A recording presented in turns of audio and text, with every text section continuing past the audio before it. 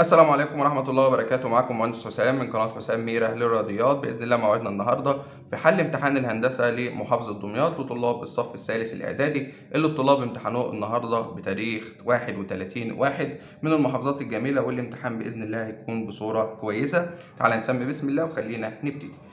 السؤال الأول بيقول لي بيقول لي مجموع قياسات الزوايا الداخلة للمثلث. طبعا مجموع قياسات الزوايا الداخلة هي 180 درجة.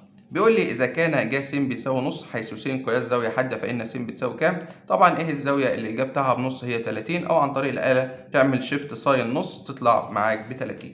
السؤال اللي بعده بيقول لي أ ب ج د متوازى أضلاع في خلي بالك إن متوازى الأضلاع كل زاويتين ورا بعض مجموعهم كام؟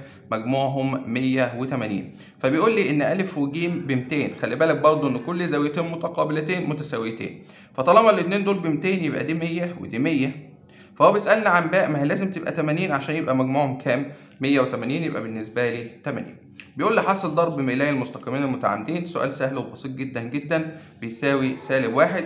السؤال اللي بعده بيقول لي في الشكل المقابل ا باء بيساوي كام سنتي؟ طبعا يا باشمهندس طول الضلع المقابل للزاويه 30 في المثلث القائم بيساوي نص الوتر يبقى أكيد ب 6 وفي حاجة تانية يا باشمهندس بدماغك إيه هي؟ أنا ده مثلث قائم فدايما أطول الأضلاع هو الوتر. فما ينفعش الضلع ده ولا 24 ولا 18 ولا 12 فده بالعقل. فالسؤال أصلا يعني أبسط من كده مفيش. السؤال اللي بعده بيقول المستقيم الذي معادلته 2 س ناقص 3 ص ناقص 6 يقطع من الجزء السالب لمحور الصادات جزءا طوله. خلي بالك هو قال لي بيقطع من الجزء السالب فما ينفعش أكتب سالب تاني. يبقى مبدئيا أصلا الإجابتين دول غلط. تمام.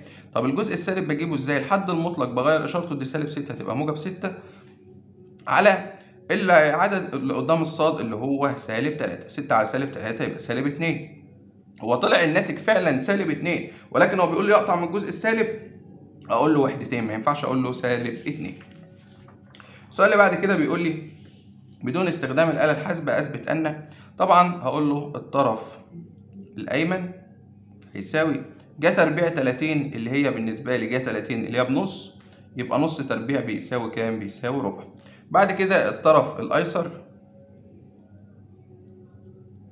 هيساوي خمسة في جتا تربيع ستين. جتا ستين خلي بالك اللي هي بنص برضه. يبقى ده نص تربيع. ظا خمسة وأربعين اللي هي بواحد. يبقى دي بالنسبة لي كام؟ واحد تربيع. يبقى يساوي. طبعا هتبقى دي خمسة ونص تربيع اللي هو ربع ناقص الواحد. يعني هتساوي خمسة على الأربعة ناقص الواحد اللي ممكن أكتبه أربعة على أربعة عادي جدا. يبقى خمسة ناقص أربعة واحد وأربعة المقام طبعا متوحد يبقى ربع. يبقى بالنسبة لي الطرف الأيمن بيساوي الطرف الأيسر. السؤال اللي بعده بيقول لي بين نوع المثلث بالنسبة لأطوال أضلاع تمام. معايا الألف ومعايا الباء ومعايا الجيم يا باشمهندس. تعالى بقى نجيب الألف باء.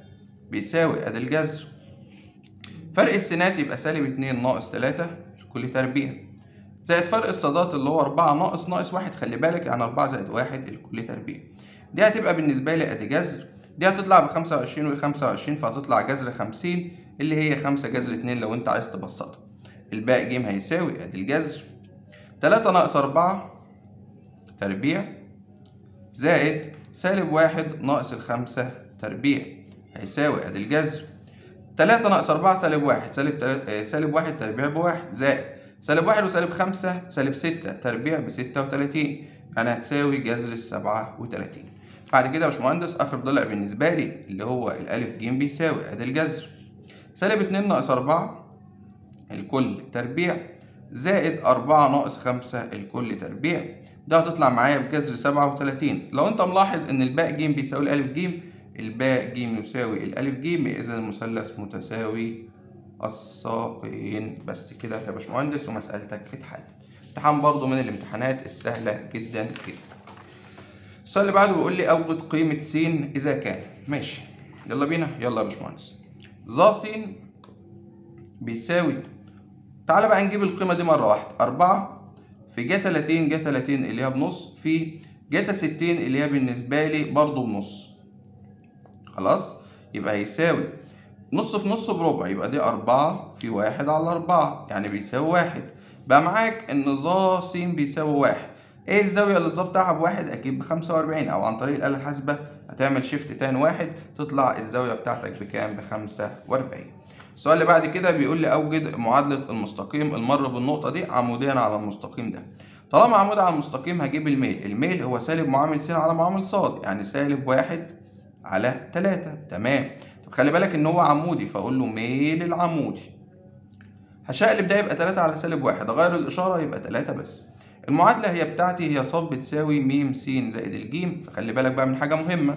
أنا دلوقتي معايا النقطة اللي بيمر بيها اللي هي تلاتة وسالب خمسة. تمام؟ هشيل الصاد وأحط سالب خمسة. هتساوي الميل اللي هي تلاتة في تلاتة برضه يا باشمهندس زائد الجيم. تلاتة في تلاتة بتسعة هوديها الناحية التانية. يبقى الجيم بتساوي سالب خمسة سالب تسعة يعني سالب أربعتاشر. يبقى المعادلة بتاعتي ص بتساوي هتبقى بالنسبة لي الميل اللي إحنا جبناه اللي هو تلاتة س ناقص ال 14 وهي دي كده المعادلة اللي أنا هشتغل عليها. السؤال اللي بعده بيقول لي إذا كانت النقطة ج هي منتصف دي طالما قلنا أعطيني المنتصف يبقى بالنسبة لي. مجموع السينات على 2 خلي بالك ج هي اللي في النص فأنا هجمع السينات اللي هنا يبقى س زائد 6 على الاتنين هيساوي الأربعة. هضرب مقص يبقى س زائد 6 بيساوي 8 وأدي الستة الناحية التانية يبقى س بتساوي 8 ناقص 6 بيساوي 2 بعد كده يا باشمهندس مجموع الصادات اللي هو 3 زائد 5 على الاتنين بيساوي الصاد. 3 زائد 5 8 8 على الاتنين فعلى 4 إذا الصاد تساوي 4 يبقى إذا بالنسبة لي إن س زائد الصاد بيساوي 2 زائد 4 يساوي 6 السؤال اللي بعد كده بيقول لي أوجد معادلة الخط المستقيم. المر بالنقطة دي وأصنع مع الاتجاه الموجب لمحور السينات زاوية موجبة قياسها 45 أول حاجة هقول له الميل بيساوي. ظ 45 بيساوي 1 المعادلة العامة ص بتساوي م س زائد الجيم. بعد كده هعوض بتلاتة واتنين. يبقى يا باشمهندس الميل بتاعي هو بواحد يبقى ص بتساوي واحد في س اللي هي بس س زائد الجيم. هعوض بقى بالنقطة تلاتة واتنين. طبعا دي س ودي ص هشيل الصاد وأحط اتنين. ودي بالنسبة لي تلاتة زائد الجيم هودي التلاتة الناحية التانية يبقى الجيم تساوي سالب واحد. يبقى المعادلة بتاعتي هي ص بتساوي س ناقص الواحد وكده قدرت أوصل للمعادلة. برضو سؤال سهل وبسيط جدا جدا. السؤال اللي بعد كده يا باشمهندس بيقول لي أ ب ج بيساوي مثلث قائم الزاوية في ج فيها أ ج بستة باء ج بتمانية. هو عايز قيمة المقدار ده. أقول له حاضر أنا أول حاجة هجيب أ باء اللي هو الضلع اللي ناقص طبعا تربيع هيساوي طبعا ده الوتر فهحط هنا زائد وأحط الضلعين التانيين تربيع اللي هو ستة تربيع زائد تمانية تربيع. يعني هيساوي بالنسبة لي مية. عشان أجيب الألف باء يا باشمهندس هيساوي أدي جذر المية تطلع معايا ب 10 سم جميل جدا. بعد كده بيقول لي إيه يا باشمهندس؟ أنا عايز منك القيم. أنا كده بقيت عارف أضلاع المثلث.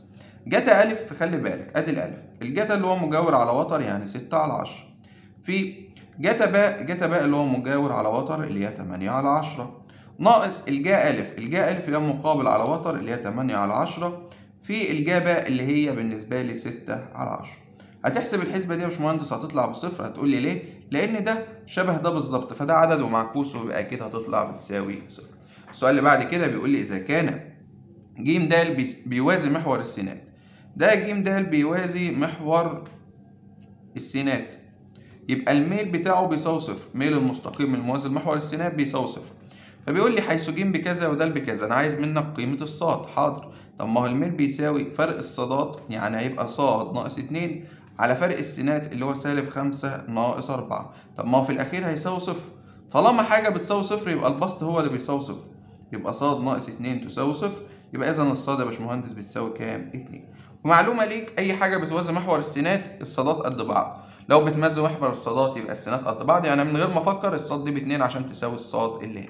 خلاص. ده كده يا باشمهندس بالنسبة لامتحان محافظة دمياط هندسة من الامتحانات الجميلة جدا جدا والسهلة والبسيطة بإذن الله. كده إحنا حليناه بالكامل بفضل ربنا. بإذن الله هنحاول نكمل برضو باقي الاختبارات وننزلها في أقرب وقت ليك. أتمنى أكون قدرت أفيدك. أتمنى أكون وصلت لك المعلومه بطريقة سهلة وبسيطة. يا ريت لو استفدت. تشترك في القناة وتفعل زرار الجرس وتضغط like. share الفيديو عشان يوصل لأكبر عدد من الناس. أشوفكم على خير الفيديو الجاي. كان معاك مهندس حسام من قناة حسام رياضيات وشكرا.